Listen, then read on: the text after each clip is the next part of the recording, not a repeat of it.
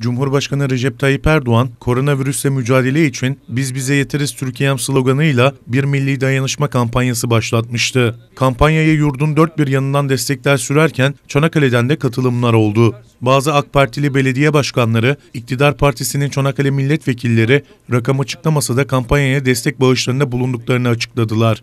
Bazı kesimler Çanakkale Belediye Başkanı Ülgür Gökhan'ın da kampanyaya katılıp katılmayacağı tartışılırken çok az kişinin bildiği bir gerçek gün yüzüne çıkıyor. Çünkü Ülgür Gökhan Çanakkale Belediye Başkanı olarak göreve geldiği 2002 yılından bugüne kadar tek bir maaş dahi almadı. 17 yıldır başkanlık maaşı, hacirahı ya da toplantı huzur hakkı adı altında devletin tek bir kuruşu cebine girmiyor.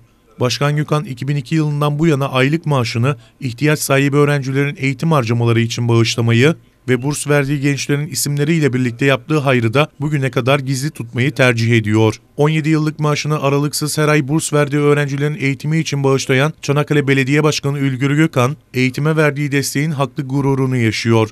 Başkanın bu davranışı Çanakkale'liler tarafından takdir topluyor.